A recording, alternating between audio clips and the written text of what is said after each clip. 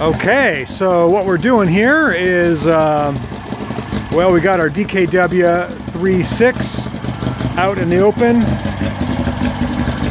3.6 stands for 3 equals 6, as in 3 cylinders equals 6 cylinders.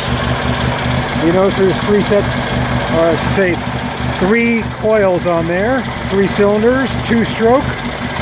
This is our uh, 900cc DKW two-stroke car and we just fixed a water leak that's been driving me crazy.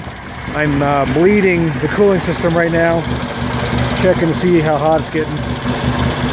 It's a hydro siphon cooling system, so it's uh, it's a little unique. Uh, coolant is too thick to flow without a water pump, so uh, straight water or distilled water and some corrosion inhibitor and water wetter usually works pretty good. So I'm letting it kind of warm up. Look at the temperature gauge here. It's getting kind of warm. Focus in on that. There we go. It's a little on the warm side. We're sitting here idling at about 1200. Let's go around the back.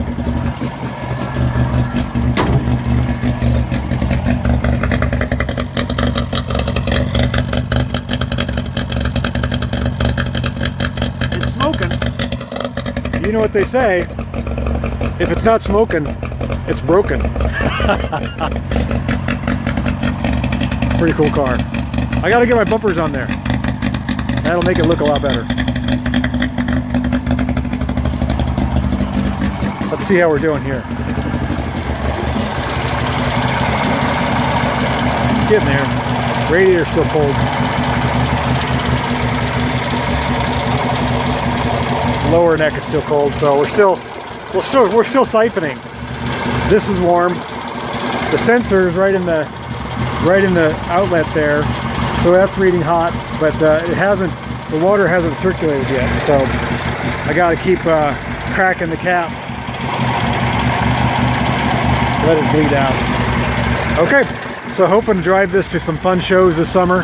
Thanks for checking in with me. And uh, do remember, if you drive your two-stroke car, if it's not smoking, it's broken.